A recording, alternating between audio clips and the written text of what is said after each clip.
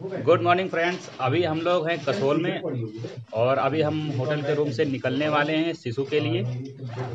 मनाली होते हुए और सोलांग होते हुए हम जाएँगे शिशु क्योंकि वहाँ पे बर्फ़ है और मनाली में बर्फ़ नहीं है तो मनाली वापस में आएँगे। और अभी हम यहाँ से निकल रहे हैं, कसोल से निकल रहे हैं अभी। और सारी पैकिंग हो चुकी है और अभी टाइम हो रहा है पाँच बजकर पचास मिनट।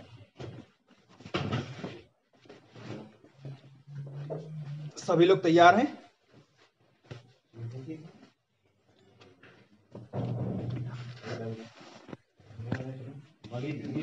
तो चलिए फ्रेंड्स अब कसोल को करते हैं बाय बाय और आपको मिलते हैं शिशु में। बाय बाय चलो भाई बाय बाय कसोल।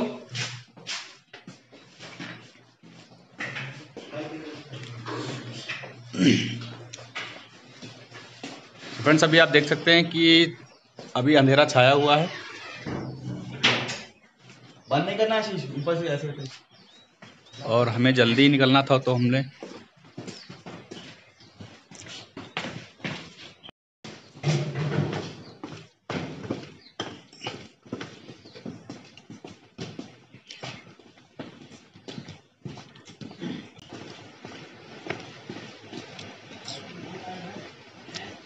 अभी फ्रेंड्स आप देख सकते हैं, सारी मार्केट बंद है, क्योंकि अभी सुबह सुबह का टाइम है, लगभग छः बज रहे हैं।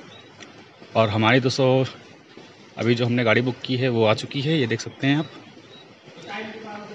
और अब हम लोग निकलते हैं कसोल से शिशु के लिए।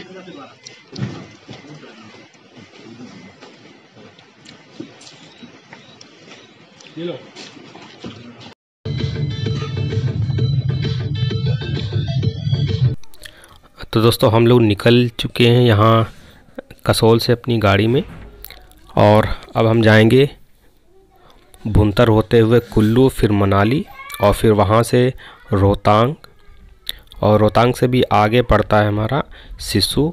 तो पहले सिसु जाएँगे, उसके बाद में हम वापस आएँगे। दोस्तों, हम लोग बर्फ़ देखने के लिए जा रहे हैं सिर्फ़ क्योंकि हमने सुना है कि अभी सिसु में बर्फ़ है। और सबसे पहले वहाँ चलेंगे। अगर वहाँ पे बर्फ़ नहीं मिलेगी तो वापस हम आएँगे अपने रोहतांग में। वहाँ पे एक स्नो वैली है। तो वहाँ पे भी बर्फ़ हो सकती है। तो ये देख लीजिए फ्रेंड्स, हम लोग लगभग सुबह के छः बजे निकले हैं। और हम लोगों की जो गाड़ी थी, वो एकदम टाइम से आ चुकी थी। और हम लोगों ने जल्दी नहाया धोया, फिर वहाँ से चले। और यहाँ पे जो अभी आप देख रहे हैं ब्रिज, ये भूंतर का ब्रिज है। तो इसको हम इस तरह से क्रॉस क्रॉस करके उधर जाएँगे कुल्लू की तरफ़। ये दोस्तों भूंतर है। और भूंतर से हमें सीधे ही जाना होता है मनाली रोड पे। और ये हाईवे है। आप देख सकते हैं यहाँ पे बर्फ़ के पहाड़ भी दिखने लगे हैं। और देखिए दोस्तों यहाँ पे कुछ नज़ारा आपको इस तरह से देखने को मिलेगा। दोस्तों, हम लोग पहली पहली बार जा रहे थे तो काफ़ी ज़्यादा एक्साइटेड थे बर्फ़ देखने के लिए। सो फ्रेंड्स अभी हम लोग आ चुके हैं सोलांग और आप लोग देख सकते हैं यहाँ का नज़ारा कुछ इस तरह का है। और यहाँ पे रोपवे है जो ऊपर ले जाएगा हमें और वहीं से पैराग्लाइडिंग होती है। और आप लोग देख लीजिए यहाँ पे चारों तरफ़ बर्फ़ है और अभी हम लोग और आगे जाएँगे। यहाँ पे थोड़ा सा स्टॉप लिए हैं। देख लीजिए आप लोग।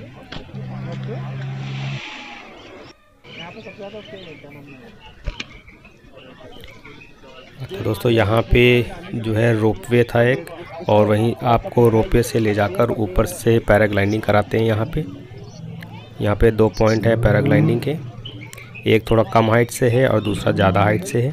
दोस्तों अभी हम लोग आए हैं यहाँ पे ट्रैक शूट के लिए यहाँ पे देख लीजिए हम लोग अभी रेडी हो रहे हैं। छोटा है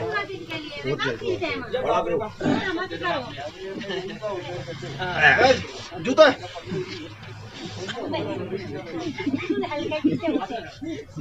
ठीक है? भैया ठीक है तो। दादा बड़ा तो बड़ा।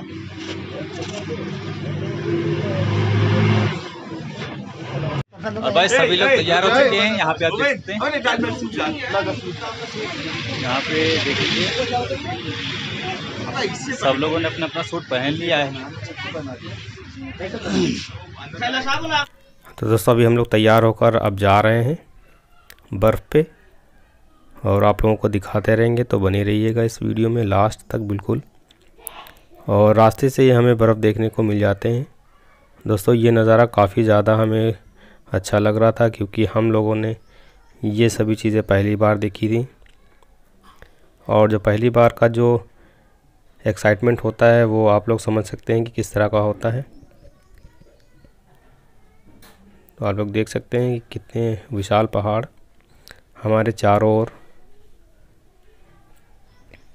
और दोस्तों, रोड पे भी हम लोग कुछ इस तरह से बर्फ़ देखने को मिल जाती है जैसे जैसे हम ऊपर की ओर जाते हैं। वैसे ही हमें बर्फ़ और ज़्यादा दिखाई देती है। दोस्तों, ये मनाली से काफ़ी दूर हम आ चुके हैं और आप अभी सामने जो गेट देख रहे हैं, वो है अटल टनल का गेट। तो दोस्तों, ये जो टनल है, यानी कि ये सुरंग, लगभग 10 किलोमीटर के आसपास की है 9 से 10 किलोमीटर के बीच में ही इसकी लेंथ है। तो आप लोग देख सकते हैं, यहाँ लिखा है अटल टनल रोहतांग। दोस्तों, ये रोहतांग में पड़ती है सुरंग। जो कि पहाड़ों को चीर कर बनाई गई है। और भी काफ़ी काम चल रहा है टनल के ऊपर। और ये मनाली से रोहतांग के बीच में बहुत सारी टनल बन रही हैं जो कि, जो आने वाले समय में हम लोगों को काफ़ी अच्छा रास्ता देंगी। क्योंकि यहाँ पे पहाड़ों पे ज़्यादा दिक्कत होती है गाड़ी चलाने में और रास्ता नहीं सही है अभी। और जब इन टनल का काम पूरा हो जाएगा तब हमारा समय और भी ज़्यादा बचेगा। तो आप लोग देख लीजिए खूब, ये कितनी अंदर से खूबसूरत टनल दिखती है। और इस पर आप ज़्यादा स्पीड से गाड़ी नहीं चला सकते। इसमें कुछ लिमिट होती है गाड़ी चलाने की। तो अभी जब हम लोग गए थे, तब 40 की स्पीड ऐसे ही जा सकते थे सिर्फ़। और दोस्तों, हम लोग लगभग इसके बाहर निकल चुके हैं। और ये इसका, उधर का पॉइंट है।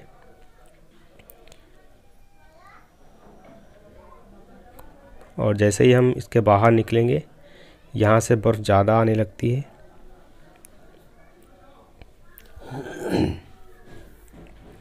और यहाँ पे सिक्योरिटी भी काफ़ी टाइट है। और यहाँ पे आप देख सकते हैं फ्रेंड्स कितनी ज़्यादा बर्फ़ है। हम लोग दोस्तों वापस में यहाँ पे आएँगे। पहले हम जहाँ जाने वाले हैं, पहले वहाँ जाएँगे। वहाँ पे देखते हैं बर्फ़ है या नहीं है। अगर नहीं होती है तो वापसी में हम लोग यहीं पे आएँगे। क्योंकि यहाँ पे ज़्यादा बर्फ़ है। और जो हमने गाड़ी बुक की थी वो शिशु के लिए ही की थी। तो पहले शिशु जाएँगे फिर वो वापस में यहाँ पे रुकेंगे आके। और यहाँ से हम लेफ़्ट टर्न करेंगे। तो दोस्तों अभी हम लोग आ चुके हैं यहाँ शिशु में। और यहाँ आप लोग देख सकते हैं कि बर्फ़ है। और यहीं पे हम लोग रुकेंगे थोड़ी देर और वहाँ भी जाएँगे बर्फ़ के पास। तो चलिए चलते हैं, आपको ले चलते हैं बर्फ़ के पास।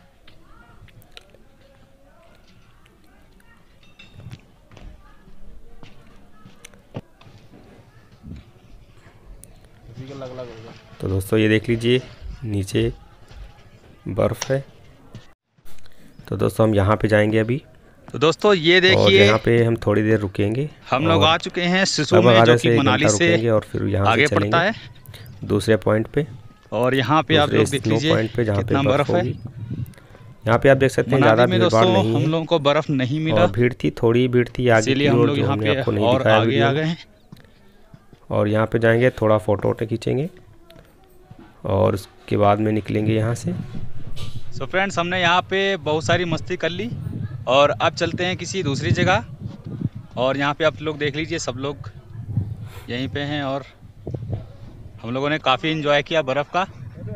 और हमारे चंदन भाई अभी भी लेटे हुए हैं बर्फ़ पर। तो चलिए अब दूसरी जगह चलते हैं कहीं पे। तो यहाँ पे देख लीजिए फ्रेंड्स यहाँ पे स्किंग हो रही थी।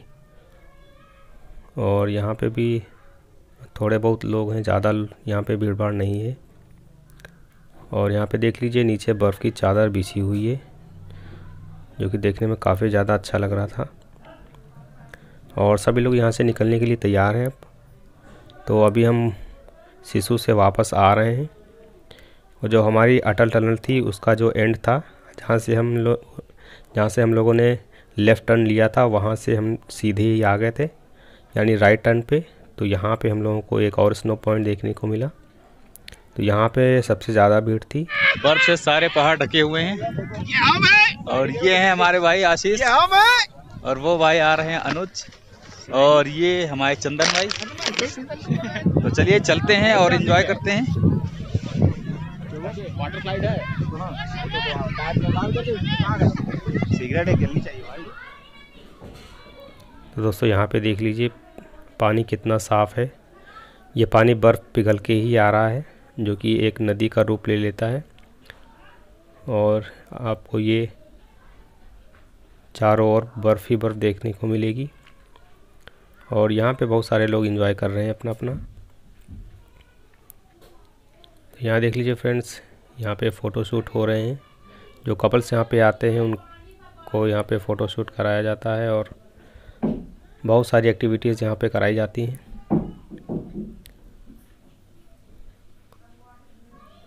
यहाँ पे चारों तरफ़ आपको लोग ही लोग देखने को मिलेंगे। और ये देख लीजिए सीन यहाँ पे कितना ज़्यादा खूबसूरत है। और फ्रेंड्स हमने ये टेडी बियर बनाया है बर्फ़ से।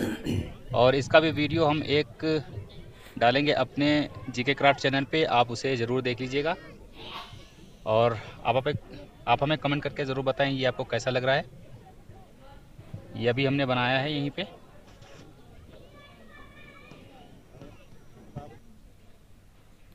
दोस्तों, आप लोग जब भी इस तरह के स्टोव पे कुछ भी बनाएँ तो आप लोग ग्लव्स का इस्तेमाल ज़रूर करें कि अगर नहीं करेंगे तो आपको कोल्ड बर्न हो सकता है। तो यहाँ पे दोस्तों, हम लोगों ने काफ़ी मस्ती की। ये आप देख सकते हैं कि किस तरह से सभी लोग फिसल रहे हैं बर्फ़ से।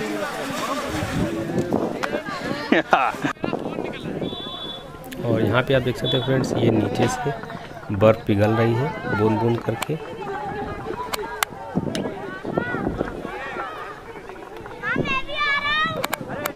फ्रेंड्स, जो टेडी बियर हमने बनाया था, वहाँ पे सेल्फी लेने के लिए बहुत सारे लोग आने लगे। तो वो वीडियो आप लोग ज़रूर देखिएगा।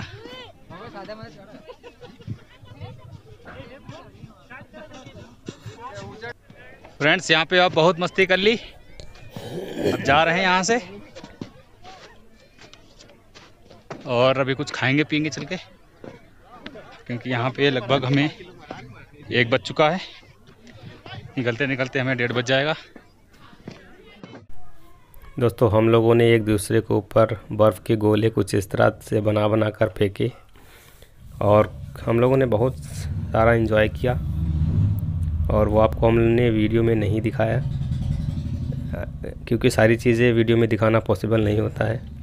और यहाँ पे आने के बाद वापसी में यहाँ पे पैराग्लाइडिंग हो रही थी तो यहाँ पे आप देख सकते हैं कि किस तरह से लोग यहाँ पे पैराग्लाइडिंग कर रहे हैं।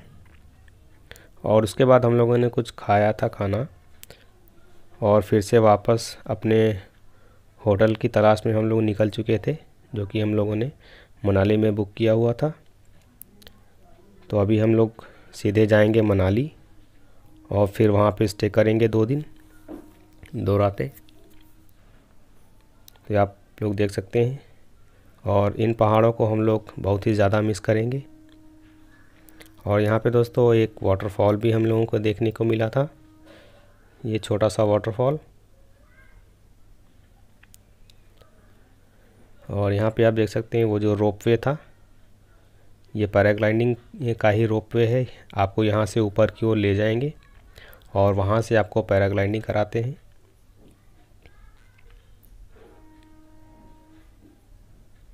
आप देख सकते हैं कितना ज़्यादा ऊँचा है।